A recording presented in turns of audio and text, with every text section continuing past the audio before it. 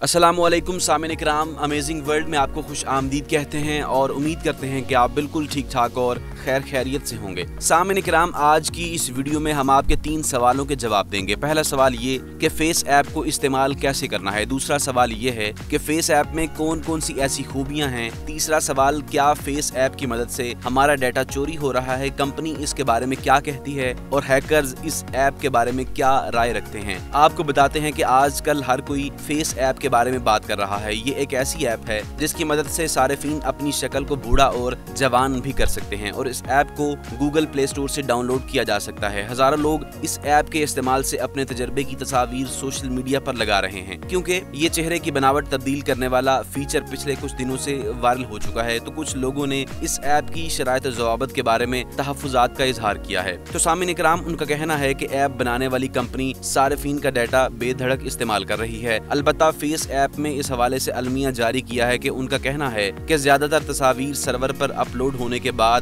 اڑتالیس گھنٹوں بعد ہی خود ہی مٹا دی جاتی ہے۔ ان کا یہ کہنا ہے کہ وہ صرف انہیں اپلوڈ کرتے ہیں جن کا انتخاب صارفین خود کرتے ہیں۔ اس کے علاوہ کوئی اضافی تصاویر استعمال نہیں کی جاتی۔ فیس ایپ نئی نہیں ہے، یہ پہلی دفعہ خبروں کی زینت دو سال پہلے اپنینسلی فلٹر کی وجہ سے بنی۔ اس فیچر کی وجہ سے صارفین اپنی نسل تبدیل کر سکتے تھے، لیکن اس فیچر پر شدید تنقید کے بعد اس کو ہٹانا پڑا۔ یہ ضرور ہے کہ اس ایپ کی مدد سے آپ بد مزاج چہروں پر چہچہاتی مسکراہٹ سجا سکتے ہیں اور اس کی مدد سے میک اپ میں بھی رد و بدل کیا جا سکتا ہے۔ یہ سب مصنوعی ذہانت سے کیا جاتا ہے۔ ایک ایگلوریدم چہرے کی تصویر کو دوسری تصویر کے حساب سے تبدیل کرتا ہے۔ اس کی مدد سے آپ چہرے پر دانتوں والی مسکراہٹ سجا سکتے ہیں۔ سامن اکرام، کچھ لوگوں نے خدشہ ظاہر کیا ہے کہ فیس ایپ شاید صارفین سے ڈیٹا اکٹھا کر کے اسے ایسے ایگلوریدم کی تربیت کے لیے استعمال کر رہی ہے جو چہروں کی مدد سے شناخت کر پائے گا۔ تو سامن کرام اگر ابھی تک آپ نے ہمارے چینل امیزنگ ورلڈ کو سبسکرائب نہیں کیا تو ہمارے چینل امیزنگ ورلڈ کو سبسکرائب کریں اور ساتھ موجود بیل آئیکن کو دبا دیں تاکہ آنے والی جو مزید ویڈیوز ہیں آپ کو وقتاً فوقتاً ملتی رہیں۔ تو سامعین اکرام، بات کو آگے بڑھاتے ہیں اور آپ کو بتاتے ہیں کہ ایسا اس صورت میں بھی کیا جا سکتا ہے کہ اگر تصاویر مٹا دی گئی ہوں، کیونکہ چہرے کی پیمائش پہلے ہی محفوظ کی جا چکی ہے۔ سامعین اکرام فیس ایپ بنانے والے کہتے ہیں، ہم ان تصاویر ایسے کسی ایگلوریدم کی تربیت کے لیے استعمال نہیں کر رہے، بلکہ یہ تصاویر صرف رد و بدل میں استعمال ہوتا ہے۔ بات بالکل ایسی نہیں ہے۔ کچھ لوگ یہ سوال کرتے ہیں کہ فیس ایپ تصویروں کو سرے سے اپلوڈ ہی کیوں کرتا ہے؟ جبکہ فیس ایپ ان تصویروں کو کلاؤڈز میں لے جانے کے بعد سمارٹ فون پر ان کی جگہ محفوظ کرتا ہے اور پروسیس کر سکتا ہے۔